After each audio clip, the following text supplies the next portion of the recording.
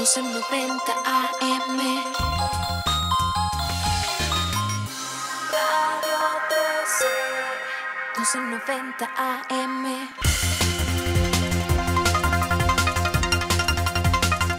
La gran diferencia. Radio 13 Televisión con André Marín, editorial. Y pensar que hace dos años, cuando Raúl Arias dirigía a las Chivas, casi casi le dijo que no servía para ser futbolista profesional. Bueno, con la llegada de José Luis Real y un poco antes de Paco Ramírez, el, el empezó a tener más partidos, más actividad, se volvió a sentir importante, se volvió a sentir productivo y que me lo venden al Manchester United. Pero lo más mila- milagroso es lo que ha pasado en los últimos días. Javier inaugura el nuevo estadio de las Chivas jugando con la camiseta de Chivas y mete el primer gol.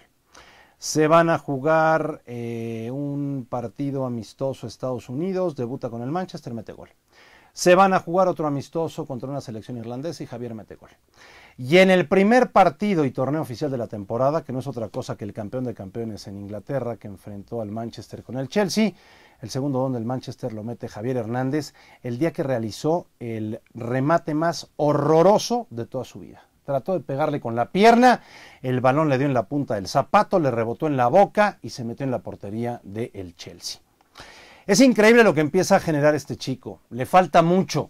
Pero hoy ya vende camisetas. Hoy empieza a ser ídolo del Manchester United. Hoy eh, tiene un karma muy positivo Javier Hernández. Todo le sale bien. Y yo creo que podremos estar en presencia de un auténtico fenómeno en la historia del fútbol mexicano. Le queda a él ahora demostrarlo en Europa. Le hicieron un gran contrato, viene una competencia larga, dura. El Manchester juega todos los torneos habidos y por haber. Y el Chicharo ha entrado indudablemente con el pie derecho. Momento de estar pendientes y de festejar que el fútbol mexicano tiene en los pies de Javier Hernández, quizá en un futuro no muy lejano, a un extraordinario centro delantero.